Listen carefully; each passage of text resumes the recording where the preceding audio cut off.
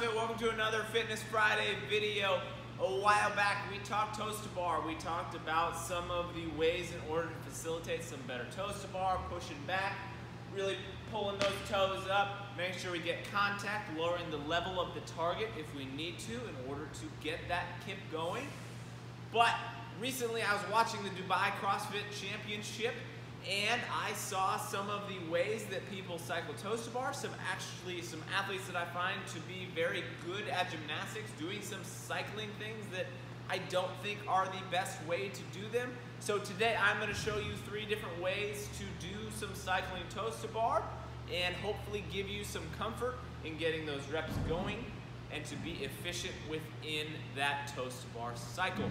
So the three that I'm going to talk about today. One is a very strict kip. It is a very pretty kind of gymnasty way to do them.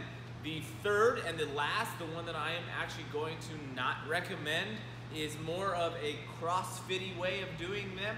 It is a kind of like a bicycle kick way of doing it. Doesn't use your shoulders, strictly is lower body and abs. We'll talk about that here in a bit. And then the second is gonna be a blend of the two. This is kind of where I find my meat and potatoes in workouts. Um, really where I find that kind of smooth, easy way of doing those toes to bar, able to repeat them consistently. So with that, here we go. The first way, this will be the way that I don't want you to do them. Let's get that out of the way first. So here we go. As you can see when I hop up on the bar, I have, I start with a decent kip I have some shoulder activation, but once I get going, my shoulder joint, that change in the angle doesn't change very much. It's very static.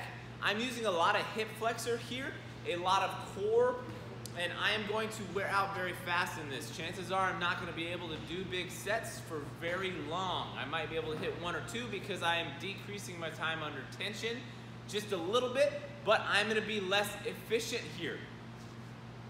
So moving on, in that one, I would again suggest not doing them that way, mainly for the benefit of consistency.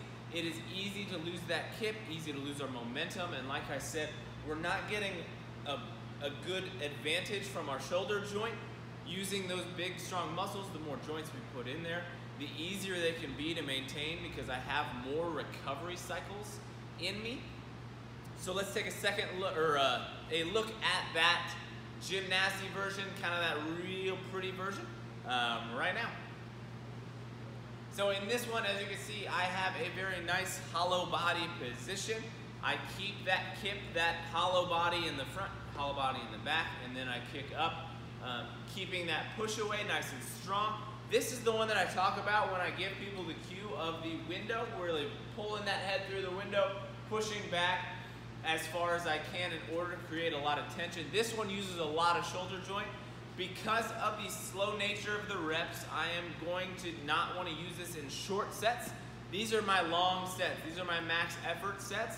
I'm able to consistently do this, although my time under tension is a little longer. So in that one, guys, um, again, not as short term, not as fast, more time under tension, so it's gonna wear us out over time. But if we are doing a single set, maybe a long piece of that workout, I can kind of blend the two into what I would suggest that you do. Let's take a look at that now. So in this one, I have that nice hollow body position. I use my shoulders. I have a good kip. That hollow body is very much there, but I also kind of use that bicycle kick with my legs a little bit to keep things nice and short.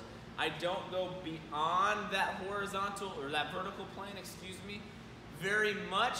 I just do it enough in order to get that uh, range of motion standard going.